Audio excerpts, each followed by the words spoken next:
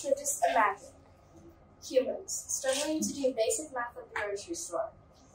Um, children um, struggling to read books like Pig the Pug or Biscuit the Dog. Humans oblivious to the fact that the Greeks and Romans were polytheistic.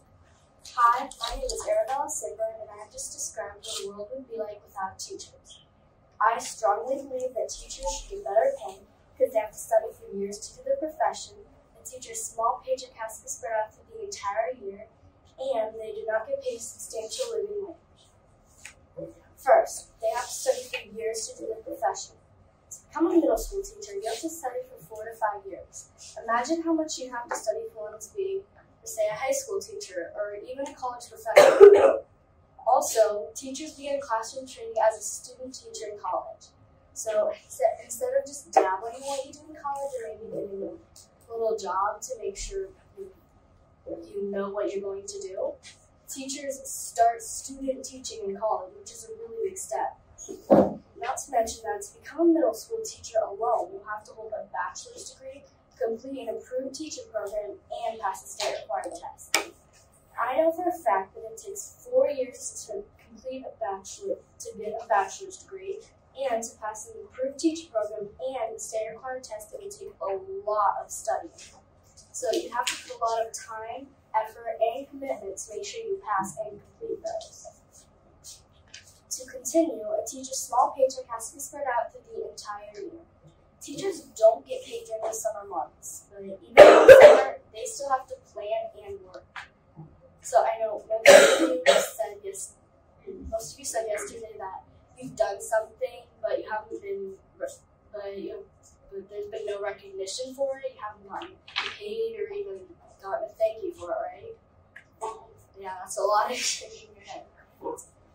Teachers also have to use restricted budget. One reason they have to use restricted budget is because most schools make teachers buy their own supplies. Some teachers are fortunate enough to have schools pay for it, but some aren't. So imagine paying for like a box of glue sticks that you need, or markers, or highlighters, but you also have That's going to be a money pit. Last but certainly not least, they do not get paid a substantial living wage. So the average yearly wage in Indiana is between forty-one thousand six hundred sixty and forty-nine thousand eight hundred eight dollars a year.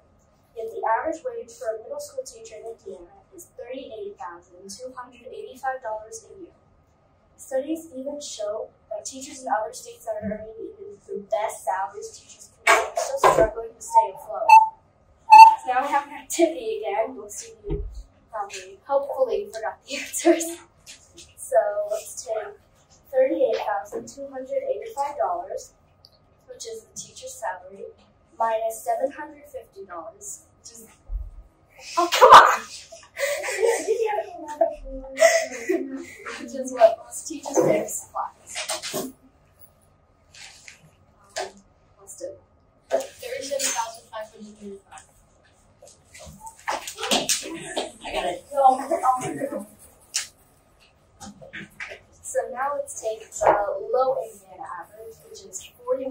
$32,660 a year.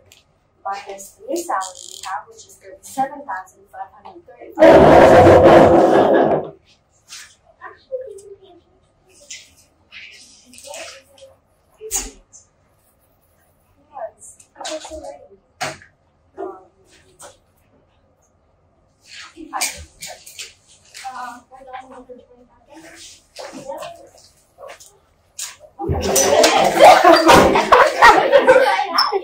Joshua needs CPR.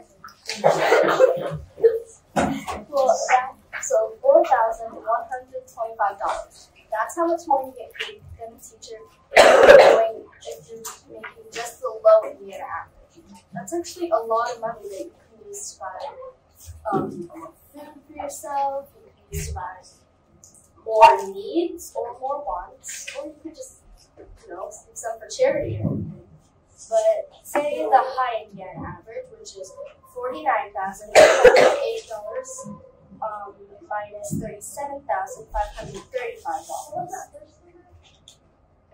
So forty-nine thousand eight hundred eight dollars minus thirty-seven thousand five hundred thirty-five dollars.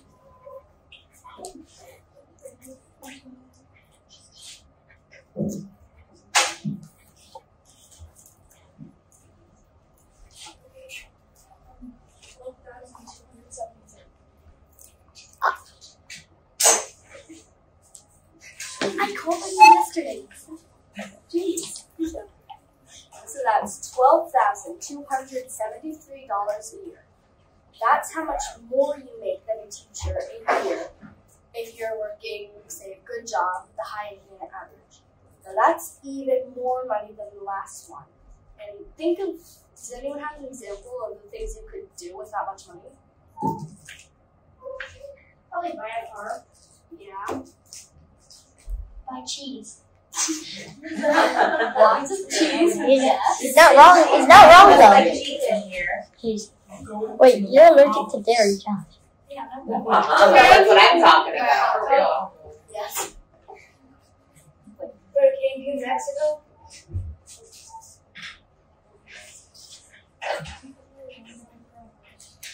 I can't hear you. Um, I think you need a bit more money than that to like do one for a house, but yeah, that's probably at least half of it. I mean, A lot, like a lot of pizza.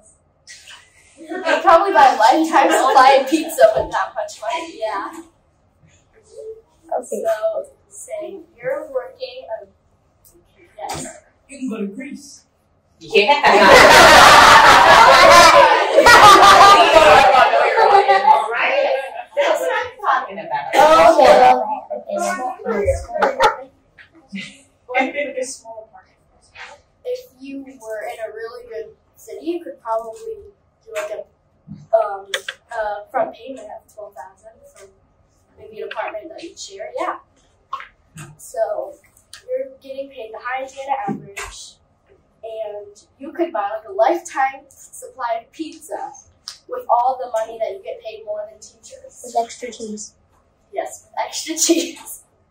So I strongly believe that hmm, I strongly believe that teachers should get better pay because they have to study for years to do their profession. A teacher's small paycheck has to be spread out through the entire year, and they do not get paid a substantial living wage.